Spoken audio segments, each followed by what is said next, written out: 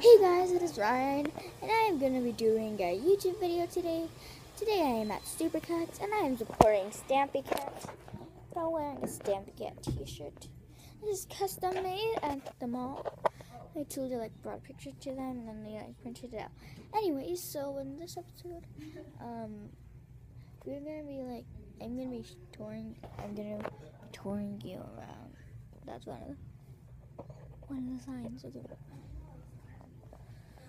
Your daughter was the one looking for the leave-in conditioner from Joy, right? Yeah. I think we got it now. Check on the shelf right there.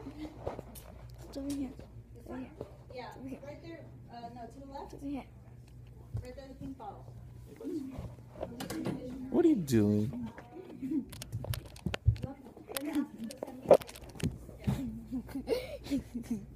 okay, so that was my dad. Nobody cares.